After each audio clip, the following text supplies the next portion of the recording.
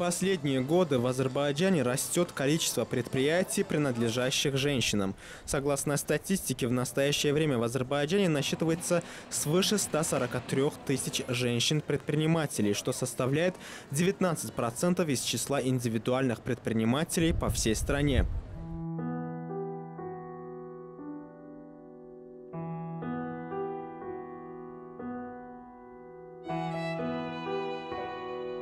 В Азербайджане развитие женского предпринимательства поддерживается не только обществом, но и правительством. В результате за последние годы число женщин, занимающихся предпринимательской деятельностью, выросло в несколько раз.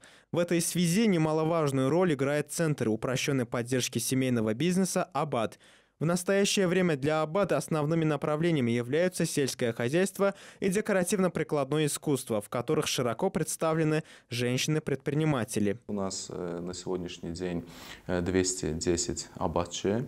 Э, из них подавляющее большинство, 57%, это женщины.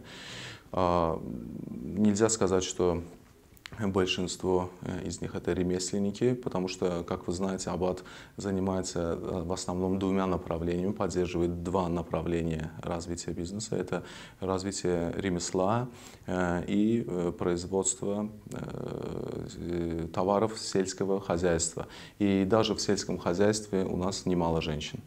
Начиная с октября прошлого года начала свою деятельность Ассоциация женщин-предпринимателей Азербайджана, что в свою очередь стало поддержкой бизнес-среды для дальнейшего стимулирования женщин-предпринимателей. Тем временем женщины-предприниматели активно участвуют в развитии и внедрении азербайджанской модели развития экономики путем международного обмена опытом. Сулиддин Багиров, Эльман Набиев, CBC.